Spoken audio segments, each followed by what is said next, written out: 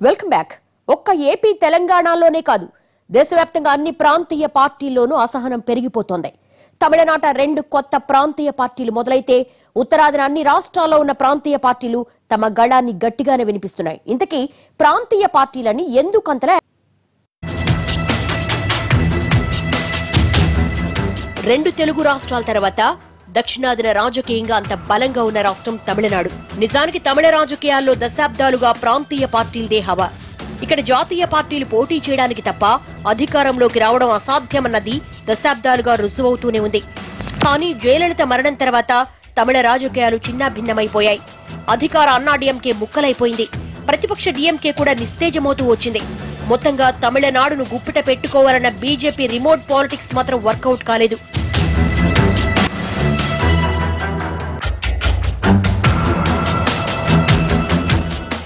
రెండు ప్రాంతీయ పార్టీల మధ్య అధికారం తారుమారవుతూ ఉంటే ఇప్పుడు తమిళ రాజకీయాల్లో మరో రెండు బలమైన పార్టీలు ఆవిర్భవించాయి. ఇప్పటికే కేంద్ర పార్టీలు విమర్శిస్తూ ముందుకొచ్చిన కమల్ హాసన్ మక్కల్ నీతి మయంతో పార్టీ పెట్టారు. స్వచ్ఛమైన రాజకీయాల కోసమే పార్టీ పెట్టానన్న కమల్ హాసన్ భవిష్యత్తులో మార్పు కోసం పనిచేస్తానన్నారు. జాతీయ పార్టీల ప్రభావాన్ని తొలినాటి నుంచి విమర్శిస్తున్న ఆయన ప్రాంతీయ పార్టీలకు అధికారం ఉండాలని గట్టిగా చెప్పుకొస్తున్నారు. ఇక తమిళనాట మరో బలమైన రాజకీయ శక్తిగా అవతరించేందుకు తలాయివా కూడా పొలిటికల్ ఎంట్రీ ఇచ్చేశారు. ఎంజీఆర్ స్టైల్లో మంచి పాలన అందిస్తారన్న రజనీకాంత్ రాష్ట్ర ప్రజల కోసమే రాజకీయాల్లోకి వచ్చారన్నారు. తమిళనాడులో ఒక్క పొలిటీషియన్ కూడా ప్రజల కోసం పనిచేయట్లేదన్న తలైవా ఆ రాజకీయ శూన్యతను భర్తీ చేయడానికే వచ్చానన్నారు. వచ్చే ఎన్నికల్లో రెండు వందల ముప్పై నాలుగు స్థానాల్లోనూ పోటీ చేస్తానని ప్రకటించిన తలైవా జాతీయ పార్టీలతో కలిసి వెళ్ళడంపై ఏమీ చెప్పకపోయినా తమిళ ప్రజల ఆకాంక్షల మేరకు అడిగేస్తారని తెలుస్తోంది. అంటే ఆయన కూడా జాతీయ పార్టీలు వ్యతిరేకిస్తూ తమిళనాట బలంగా తన గళాన్ని వినిపించబోతున్నారు. ఒక్క తమిళనాడులోనే కాదు పశ్చిమ బెంగాల్లో దీదీ కూడా కేంద్రానికి వ్యతిరేకంగా గళమెత్తుతూనే ఉన్నారు. తాజాగా కేసీఆర్ కొత్త కూటమికి మద్దతిచ్చిన దీదీ ఏనాడు జాతీయ పార్టీల పెత్తనాన్ని సహించింది లేదు. ఇంకా చెప్పాలంటే అన్ని జాతీయ పార్టీల మీద దీదీ తన గళాన్ని గట్టిగానే వినిపిస్తున్నారు. దేశంలో అతిపెద్ద రాష్ట్రం విభిన్న రాజకీయాలకు నెలవైన యూపీలో కూడా బలమైన రెండు ప్రాంతీయ పార్టీలు కేంద్రానికి వ్యతిరేకంగా ఒక్కటవుతున్నాయి. దశాబ్దాలుగా బద్ధ శత్రువులుగా ఉన్న ఎస్పీ బీఎస్పీలు ఇటీవల ఒక్కటయ్యాయి. యూపీఏలో జరగబోయే ఉప ఎన్నికల్లో బీజేపీని ఓడించేందుకు ఈ ఇద్దరు ప్రత్యర్థులు కూడా ఒక్కటయ్యారు. తమ భేషజాలు విడిచి ఇంత పెద్ద నిర్ణయాలు తీసుకున్నారంటే భవిష్యత్తులో జాతీయ పార్టీలను అదే స్థాయిలో వ్యతిరేకించి ముందుకెళ్ళనున్నారన్నది అర్థమైంది.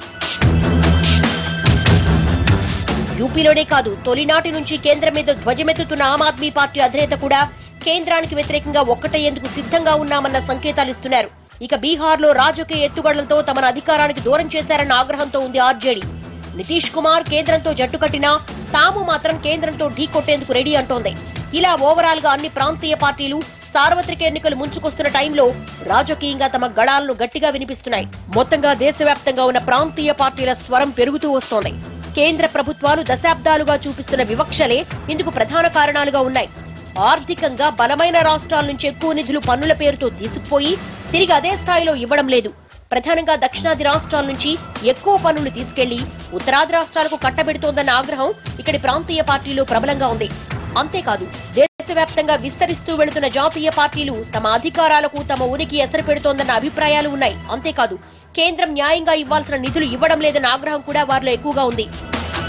ఇప్పుడు జరుగుతుంది ఏమిటంటే ప్రతి రాష్ట్రంలోని కేంద్రం మీద ఏదో విధంగా ఒక కోపం ఉంది. ఈ కోపం ఎందుకు ఉందంటే కేంద్ర ప్రభుత్వం గుప్పెట్లో అన్ని పవర్స్ పెట్టుకున్నది. సో కేంద్ర ప్రభుత్వం రాష్ట్రాలకి సరైన ఆర్థిక సహాయం చేయటం సహాయం చేయటం లేదు. రెండోది ఏమిటంటే అసలు ఈ పవర్స్ ఇవ్వటం లేదు. అన్నీ తన చేతిలోనే పెట్టుకుంది అనేది ఒక భావన కలుగుతున్నది. అందుకే ప్రతి రా ప్రతి రాష్ట్రంలోని దీనికి ఏ రాష్ట్రం అతీతం కాదు. ఒరిస్సాలో బిజు జనతాదళ్ తీసుకోండి తమిళనాడులో డిఎంకే డిఎంకే తీసుకోండి. ఇలా జాతీయ పార్టీలపై ప్రాంతీయ పార్టీలు గళమెత్తడం ఇప్పుడే కొత్తగా మొదలైంది కాదు. తొలినాళ్ళలో చాలా సార్లు ప్రాంతీయ పార్టీలు ఇలాగే కేంద్ర రాజకీయాలను ఎదిరించేందుకు బలంగా గళమెత్తాయి. పంతొమ్మిది వందల డెబ్బై ఏడులో ఇందిరాగాంధీ ఎమర్జెన్సీని వ్యతిరేకిస్తూ ఎనిమిది ప్రాంతీయ పార్టీలు కలిసి జనతా పార్టీగా ఆవిర్భవించాయి. ఆపై పంతొమ్మిది వందల ఎనభై ఎనిమిదిలో కాంగ్రెస్కు వ్యతిరేకంగా మరో జనతాదళ్ తెరపైకొచ్చింది. ఇక తెలుగు రాజకీయాల్లో కీలక నేతగా ఉన్న ఎన్టీఆర్ అప్పట్లో దేశంలో ప్రతిపక్షాలను వామపక్షాలను ప్రాంతీయ పార్టీలను ఏకతాటిపైకి తీసుకొచ్చి ప్రత్యామ్నాయ రాజకీయ శక్తిగా థర్డ్ ఫ్రంట్ ఏర్పాటుకు తీవ్ర స్థాయిలో కృషి చేశాయి. విజయవాడలో ముఖ్యమంత్రుల సమావేశం ఏర్పాటు చేసి అందరినీ ఆహ్వానించారు. కృష్ణా నదీ తీరంలో జనం మధ్యన ముఖ్యమంత్రుల సదస్సు నిర్వహించారు. ఇలా జాతీయ పార్టీలను విమర్శిస్తూ ప్రాంతీయ పార్టీలు గళమెత్తడమన్నది ఎన్నోసార్లు జరిగింది జరుగుతూనే ఉంటుంది. ఎక్కడి వరకు ఎందుకు సరిగ్గా మూడేళ్ళ కిందట Samajwadi party Rashtriya Janata Dal Janata Dal U Bharatiya Janata Lok Dal Janata Dal S Samajwadi Janata పార్టీలన్నీ కలిసి జనతా పరివార్ పేరుతో కేంద్రం మీద గళమెత్తాయి. ఇప్పుడు సార్వత్రిక ఎన్నికలు సమీపిస్తున్న నేపథ్యంలో మరోసారి తమ సత్తా చాటేందుకు ప్రాంతీయ పార్టీలన్నీ స్వరబలాన్ని పెంచుతూ రాజకీయాల్లో దూసుకెళ్తున్నాయి. మరోసారి తమ రాష్ట్రాల్లో అధికార జెండా ఎగరేసేందుకు అడుగులేస్తున్నాయి. ఇది వాళ్ళ స్టోరీ బోర్డ్. మరంశంతో మళ్ళీ కలుద్దాం. నమస్తే.